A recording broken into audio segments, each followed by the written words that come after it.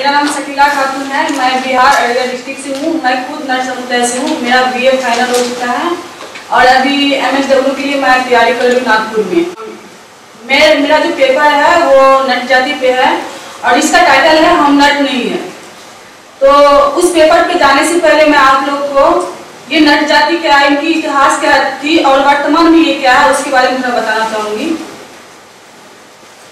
विश्व के लगभग तिरपन देशों में अंग्रेज़ों का शासन था, लेकिन क्रिमिनल ट्रायल एक्ट सिर्फ़ भारत में लागू किया गया था। अठारह सौ इकहत्तर ईस्वी से अठारह उन्नीस सौ बाईस ईस्वी के बीच, इस एक्ट ने एक सौ अंठानवे घुमंतु जाति को अपराधी घोषित कर दिया था। भारत की पृष्ठभूमि में अंग्रेज़ों की धारणा यह थी कि जिस तरह से भारत में जातिगत व्यवसाय होती है जैसे बढ़ई का लड़का बढ़ई होता है डॉक्टर का लड़का डॉक्टर होता है और लोहार का लड़का लोहार होता है उसी तरह से अपराधी की संतानें अपराधी ही होंगी। भारत की लड़ाकू जातियों की संतानों को भी अनिवार्य रूप से जन्मजात अपराधी मान लिया गया था। एक सौ अंठानवे घुमंतु जातियों में से एक नट समुदाय भी थी। बिहार में नट समुदाय जो दो रिलीजन में बांटा गया है, जो एक हिंदू नट समुदाय है, जो एस में आते हैं और जो दूसरा है वो मुस्लिम नट समुदाय है, जो ओबीसी वन में आते हैं। बिहार अररिया डिस्ट्रिक्ट में लगभग 20 से 25 गाँव है, जहाँ नट समुदाय, मुस्लिम नट समुदाय, जिसमें से मैंने पाँच गाँव का ये फ़ील्ड विज़िट करी हूँ और जो नटपतन ब्लॉक और फटिसगंज ब्लॉक के अंदर आते हैं। ये जो मैंने पाँच गाँव का जो मैंने फ़ील्ड विज़िट करी है, जो फ़र्स्ट नंबर पे बसमतिया है, जहाँ की आबादी 150 है।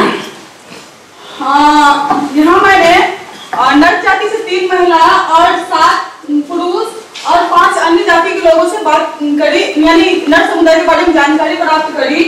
और दूसरा नंबर पे खवासपुर है, जिसका आबादी 200 है लगभग। वहाँ पर मैंने एक मेल, सात फीमेल और दो अदर कास्ट के लोगों से मैंने बात करी। और तीसरा है अमोना पंचायत, जिसके ऊपर मैं पेपर लिखी वहाँ की आबादी लगभग तीन हज़ार है। वहाँ पे मैंने आठ मेल, पाँच फीमेल और तीन अदर कास्ट के लोगों से मैंने बात करी। और चौथा है ढोलजा पंचायत, जहाँ सात सौ आबादी है, लगभग। वहाँ मैंने दो मेल, सात फीमेल और दो अदर से मैंने बात करी।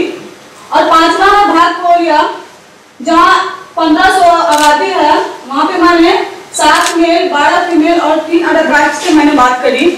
और मैंने जो बात करके जानकारी प्राप्त करी, वो मैं अभी आपको बताने जा रही हूँ। निम्नलिखित निम्नलिखित आंकड़ों के अनुसार मैं पाँच गो का फ़ील्ड विज़िट की। भूतकाल में मुस्लिम नर समुदाय का काम वर्तमान काल से काफ़ी अलग था। पहले ये सांप, बंदर, भालू का नृत्य और प्लास्टिक का ये फूल बनाकर बेचते थे, लेकिन सरकार ने इस पर बैन लगा दी है, जिसके कारण उसका रोज़गार उनके हाथ से चला गया। और न चाहते हुए भी काफ़ी जगह ऐसा है जहाँ नट समुदाय को देवे पाठ जाना पड़ा। सन उन्नीस में ईस्वी में देश आज़ाद होने के बाद देश आज़ाद होने के पाँच साल बाद सन उन्नीस सौ बावन ईस्वी में इस एक्ट को हटा दिया गया।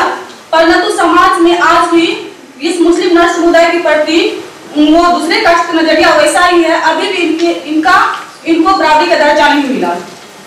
मुस्लिम नर समुदाय का कहना है कि हमारे रोज़गार पर तो सरकार ने बैन लगा दी और पाँच गाँव में हमें कोई और गाँव में हमें कोई मजदूरी पर रखना नहीं चाहते। अगर रखते भी हैं हमें बंधा मजदूर बना के रखते हैं और जो अन्य मजदूर है, उनकी तुलना में हमें कम मजदूरी मिलती है। हमारे साथ काफ़ी भेदभाव होते हैं, जैसे कि अन्य मजदूरों को बर्तन में देते, प्लेट में खाना खाने को हमें पथरी में देते और उससे दूर बैठा करके। उनका जो क्लास होता है पानी पीने का, उसमें हम पानी भी नहीं पी सकते, ना उसके साथ हम बैठ खा सकते हैं। ढोलबच्चा पंचायत, जो मैंने बताई, वो अररिया डिस्ट्रिक्ट फॉर्मेशन ब्लॉक में आते हैं। वहाँ से मैंने जब बात करी तो उन्होंने कहा कि हमारे जो समुदाय है, उनके अंदर ना कोई आंगनबाड़ी है, ना प्राथमिक स्कूल है, न मध्य विद्यालय है, हाई स्कूल की तो बाकी छोड़ दो जब ये नहीं तो हाई स्कूल कहाँ से होगी? दूसरे समुदाय में अगर हमारे बच्चे पढ़ने जाते हैं तो उनके साथ अनेक प्रकार के जातिगत भेदभाव होते हैं। शिक्षक उन्हें गंदे नज़र से देखते हैं, जिसके कारण हमारे बच्चे पढ़ नहीं पाते हैं। तीसरा जो मेरा पंचायत था, वहाँ जब मैंने बात करी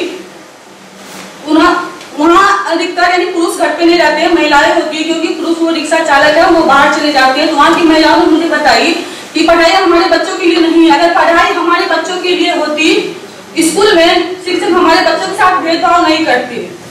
चोरी कोई और करते हैं, इल्ज़ाम हमारे बच्चों पे लगता है और बेकसूर में भी हमारे बच्चे मार खाते अगर जहाँ इतना कुछ होता हो, वहाँ आप लोग भी शायद अपने बच्चा को नहीं भेजेंगे। अब मैं अमोरा पंचायत के बारे में बताने जा रही हूँ। जिसके बारे में मैंने पेपर लिखी है, वहाँ की आबादी लगभग तीन हज़ार है। यहाँ मैंने 16 से 25 वर्ष की जो महिला है, उसका मैंने पर्सनल इंटरव्यू ली। और वो जिसका मैं इंटरव्यू ली उसका संख्या 26 था जिसमें से अठारह पढ़ी लिखी थी। और आठ नहीं पढ़ी थी। ये आठ की संख्या जो नहीं पढ़ी थी, वो वो ये महिला थी जो दूसरे गाँव से शादी करके इधर आती है, वो थी जो नहीं पढ़ी थी। वाल्मीकि अमोना की जो अठारह है वो सारी पढ़ी लिखी। जिसमें से मध्य विद्यालय में जो मिडिल स्कूल है, उसमें छह लड़की पढ़ रही है और टेंथ में तीन बी ए चार कर रही है, तीन महिला वहाँ की टीचर है। और जो एक जीविका ग्रुप होता है, उस ग्रुप की सीएम दो महिलाएँ वहाँ की। अमोना गाँव में मैंने जो बदलाव देखी फ़ील्ड विज़िट के बाद मैं उसके बारे में बताने जा रही हूँ। फ़ील्ड विज़िट करने के बाद मुझे पता चला अमोना पंचायत के मुस्लिम नर समुदाय के 80 प्रतिशत बच्चे स्कूल जाते हैं। बाकी जो मैंने चार गाँव में जाके फ़ील्ड विज़िट करी, वहाँ पे जो भी सर्वे करी, वहाँ के लगभग 10 प्रतिशत बच्चे भी स्कूल नहीं जाते, ये काफ़ी सोचने वाली बात है। अमोना पंचायत के मुस्लिम नाट समुदाय के रहन सहन में काफ़ी बदलाव है। जैसे वहाँ के लोग साफ़ साफ़ सुथरा कपड़ा पहनते बाकी जो नर्स समुदाय होता है, वो बहुत छोटी जाति होती है अस्थायी रूप से रहते भी नहीं बहुत जगह यहाँ से वहाँ जाते हैं उनके घर पे साफ़ सफ़ाई नहीं होती है, वो गंदे कपड़े पहनते हैं, पर अमोना पंचायत में ऐसा नहीं था। वो साफ़ सुथरे कपड़े पहन अपने घर के आस पास की सफ़ाई भी रखते थे, और वहाँ के सभी बच्चे स्कूल भी जाते थे। महिला ग्रुप, वो मैंने जीविका ग्रुप बताई, उस ग्रुप के अंदर वो पैसा जमा करती है, और एक जगह पैसा होने के बाद वो जानवर खरीदती है, उसको पाल करके फिर बेचती है, जिसकी उनका आर्थिक स्थिति और मज़बूत होती जा रही है। वहाँ के जो पुरुष है, वो बड़े बड़े कंपनी में काम करते हैं फैक्ट्री में काम करते हैं, राजमिस्त्री करते हैं और अच्छे से वो करते हैं। अब जो वो लोग बोल रहा है कि मैं नट नहीं हूँ, उसके बारे में मैं बताती हूँ। मैं जब फ़र्स्ट दिन उसके गाँव गई, जब मैं अमोना पंचायत फ़ील्ड विज़िट के फिर विज़िट में गए तो वहाँ के लोग लोग नट समुदाय के नाम सुनकर मुझ पे सब भड़क गए। खुद को आश्चर्य लगा मुझे कि ये लोग अपनी जाति के लिए इतना क्यों ये कर रहे कि हम नट नहीं है। कुछ देर शोरगुल होने के बाद एक सत्तार नाम का आदमी उसी गाँव का था। उसने आया कि, दीदी, आप चले जाओ मेरे गाँव से, वरना आपका क्या होगा, ये मुझे भी नहीं पता। प्लीज़, आप नर जाति के नाम से मेरे गाँव में मत आओ।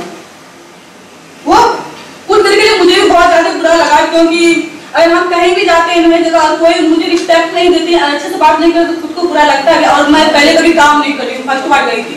इसलिए मुझे बहुत ज़्यादा बुरा लगा। फिर मैं सोची, मैंने बुरा लगा, पर वो लोग मैं कुछ बोली, खुद में गिल्टी फील कर रही थी, लेकिन कि मैं उसके पास सोची कुछ तो तकलीफ़ है इन लोगों के बीच। तब तो ये खुद की जाति से इतना नफरत कर, अगर कोई ब्राह्मण उसके जगह आ जाता है तो वो तो बड़ी गर्व से कहेगा आई एम ब्राह्मण, मैं ब्राह्मण हूँ। उस जगह तो हम भी तो नट कर सकते कि हम नट हैं। फिर नट जाके उतना नफरत क्यों कुछ तकलीफ़ है, तब तो नफरत है। मैं शाम हो गया, फिर उन लोगों से बात करते करते मैं घर आ गई। घर आने के बाद काफ़ी सोची, मैं अपनी फैमिली में बताई सबने मुझे जाने को मना किया। फिर भी मैंने ध्यान दी कि जब उस गाँव में इतना हुआ मैं फिर से जाऊँगी उसमें मैं। मॉर्निंग नाश्ता करी, आठ बजते बजते मैं उसके गाँव पहुँची वो सतार नाम का आदमी फिर आ गया है बोलता है कि, दीदी, आपको बड़ी भीड़ हो, इतनी होने के बाद फिर से मेरे गाँव आ गए। मैं बोली, भाई, आपको जो बोलना है बोल लो, पर जब तक मैं आप लोग से पूरा बात नहीं कर लेती हूँ, मैं यहाँ से नहीं जाने वाली। और ये सुनने के बाद वहाँ लोग थोड़ा शांत हुए। फिर हम क्या किए, सबको एक ग्रुप में बिठाए, फिर उसके बाद से जानकारी यानी पूछने लगे। कि अगर आप लोग को खुद की जाति से इतना नफरत क्यों हम भी तो नट हैं। हमें नहीं अपने नट जाते तो हम सबको बोल दी कि हम नट हैं। तो फिर उस लोगों ने बताया, अपना जो प्रॉब्लम बताया मुझे, वो इस प्रकार से है। अमरा पंचायत के मुस्लिम नर समुदाय से यह जानकारी मिली कि नर जाति बनकर रहने में, समाज में हमें बराबरी की दर्जा नहीं मिलती। दूसरे जाति के लोग मुझसे नफरत करते हैं। मजदूरी पर भी रखना नहीं चाहते, अगर रखते भी हैं तो हमसे अच्छा व्यवहार नहीं करते। दूसरे के दूसरे मजदूर की तुलना में हमें कम मजदूरी मिलती है। स्कूल में नट समुदाय के बच्चों के साथ शिक्षक भेदभाव करते हैं। उन्हें पीछे के बेंच पे देते हैं बैठने के लिए। अगर नीचे क्लास के बच्चे हो, जिसे दरी पे बिठाते हैं तो हमारे बच्चे जो पीछे रहते बैठने के लिए, हमारे बच्चे के जाते जाते वो दरी ही खत्म हो जाती है। उसे ज़मीन में बैठ के पढ़ना पड़ता है। और नट समुदाय के बच्चे कोई दोस्त नहीं बनते। स्कूल की जो भी साफ़ सफ़ाई होती है, कचरा वगैरह होते हैं, वो हमारे समुदाय के बच्चों से करवाते हैं। जबकि पढ़ाई का जो ज़्यादातर ध्यान होता है वो दूसरी वर्ग के बच्चों के लिए होता है। स्कूल में कोई भी प्रोग्राम हो, उसमें हमारे बच्चे भाग नहीं ले सकते। अगर हमारी जो लड़की है, अगर वो जैसे भी तैसे बचपन में पढ़ ली, अगर एट क्लास सेवन क्लास के बाद वो पढ़नी जा रही है तो अन्य कास्ट के जो भी लड़का है, उनका मज़ाक उड़ाते हैं, उसके साथ छिड़कानी करते, बोलते हैं, तुम पढ़ लिख के करोगे क्या तो जाना है, मुझे दे दे पढ़ नहीं। और इस तरह के ना जाने कौन कौन सा लफ्ज यूज़ करते हैं, क्योंकि मुझे भी उतना नहीं पता।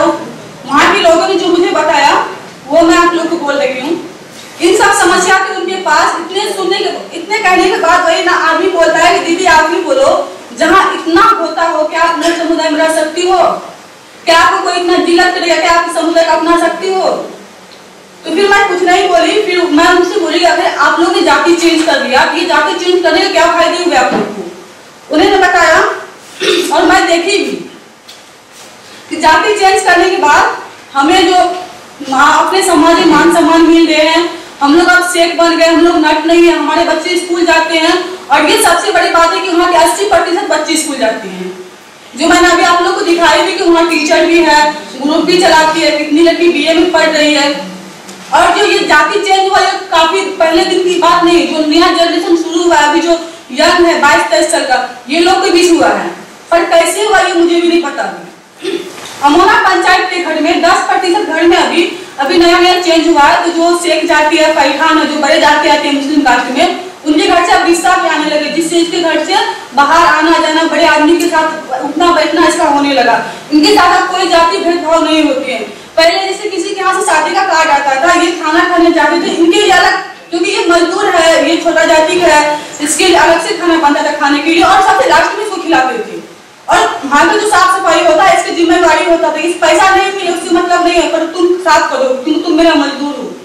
पर अब इसे, इसके साथ वैसा नहीं होता, ये साथ में बैठकर खाते हैं, क्योंकि ये जो अब सेफ़ बन गए हैं ना, इसलिए। इतना कुछ करने के बाद, मैंने फ़ील्ड विज़िट करी, और मैं खुद सोची, जो मेरा निष्कर्ष निकला है, कि कहीं ना कहीं ये लोग भी अच्छा ही किया जाति चेंज करके, क्योंकि जाति चेंज करने के बाद इतना बड़ा बदलाव है कि अस्सी प्रतिशत बच्चे स्कूल जा रहे हैं। हमें मान सम्मान मिल रहा है, पर फिर भी हम इस मान सम्मान को पाने के लिए किसी बड़े आदमी के डर से, उनके नज़र में हम अच्छे बनने के लिए हम अपने अतीत को क्यों भूल जाए? जहाँ तीन हज़ार की आबादी मिल करके एक साथ जाति चेंज कर सकता है उनके पास इतना एकता है कि वो एक साथ जाति जाति चेंज कर दिया उस तीन हज़ार की आबादी मिल करके दूसरे कास्ट के जो लोग हैं उनके उनको अपने प्रति नज़रिया भी तो बदल सकते हैं ना तो पर ये लोग ऐसा नहीं किया इस लोगों ने जाति चेंज कर लिया अगर मुझे अगर फिर से स्टडी करने का मौका मिला, अभी तो मैंने मुझे पेपर लिखने भी नहीं आते थे सब लोग एल मैंने लिख ली। और मैं इतना तक करी हूँ। अगर मुझे अगर आगे मौका मिला स्टडी करने का तो वो उसने जाति चेंज कैसे किया? उस टाइम का जो हुआ होगा कि एक एक करके किया या ग्रुप में बैठा नहीं किया अचानक तीन हज़ार आदमी एक साथ ऐसे निर्णय लेकर हमें जाति से बनना है, ये मुझे अभी तक नहीं पता। ये जानने की कोशिश करूँगी।